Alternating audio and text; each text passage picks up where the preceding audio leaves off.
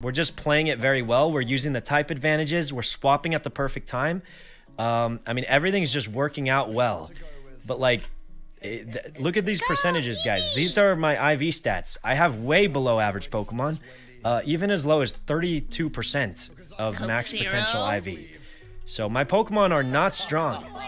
They're, they're not strong. I've just played a lot of Pokemon, and it's really paying off, guys. I'm not using the chart because uh, so, I know most of the Pokemon. Some of them I don't know, but for mo- for the most part, I know most Pokemon. There's definitely some of the newer ones or the not used often ones that I don't know, but we're three and zero, guys. We're three and zero.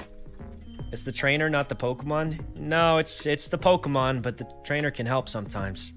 Um, I can't believe we're doing this, guys, with our scuffed below average starter Pokemon team.